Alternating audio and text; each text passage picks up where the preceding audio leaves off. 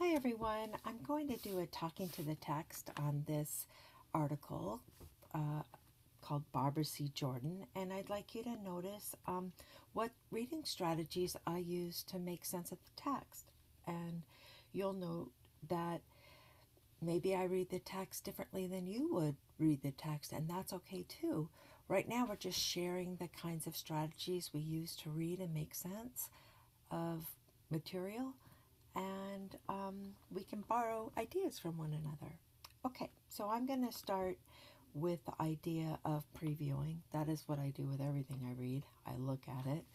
Um, I can tell it's about Barbara Jordan. That's a title, and this must be her right here, looking very professional and happy. Um, just, uh, I'm reminded immediately that um, many, many years ago I taught another article with Barbara Jordan in it. So I wonder if this article, I predict it's going to talk about the idea that she was a senator, but I'm not sure. I'll have to see when I look more. But I predict it'll kind of talk about that part of her um, professional background. And maybe it'll add some more information that I was didn't know. Like I'm not sure where she was a senator from. Okay, uh, it's from history.com. It looks like it has section headings, which is interesting because that'll help me.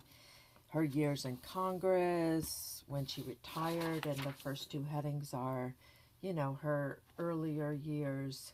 Um, oops. Okay.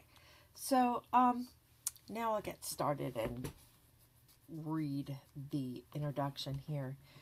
Um, so Texas Congresswoman Jordan, and then it's followed by this set of dates, which I know and uh, maybe you know also, but this is of her birth and death date. So I'll just stick that in there. Um, she was on the national stage at Houston's large, largely African American Fifth Ward. So I, I think a ward is a certain sector of people, um, maybe from a certain location in Houston. I'm, I don't really know the definition of ward, but I think that's what it is. I might need to look that up later. But it says she became a public defender of the U.S. Constitution, of course, which is the body of uh, guidelines and rules and laws and philosophies and values of the United States um, of America and she says she was um, a leading presence in the Democratic Party for two decades. So that's quite a long time. Um, and to be a leader also. She was the first black woman elected to the Texas State Senate and first black Texan in Congress. So I think this should really be acknowledged this idea that she's the first black woman. She is pioneering a road, a long, hard road um, for other black Americans to follow.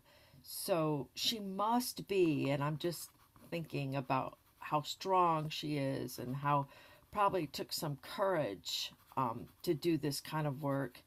And she must also be like incredibly smart, like having like this opportunity. But the, I'm just imagining Barbara Jordan out there, you know, the first one. How amazing is that? Um, it says she was the House Judiciary Committee. I that's the House Judiciary Committee. I'm going to kind of circle that out here. House Judiciary Committee. I know that's a standing committee that oversees all things that are related to the Constitution, like any amendments that need to be passed, I believe. And I think it started, I would say, maybe in the early 1800s. But again, I, am not totally sure, but I think so. Um, and then lastly, she gave a speech of Richard Nixon's impeachment hearing. So that's interesting too. Um, the whole Watergate scandal. That's what this means to me, the Watergate. So I'm just going to add that little note in here. Um, and then it says she retired. And then she still did work after she retired. She became a political advocate. policy advocate, meaning someone who works for someone else.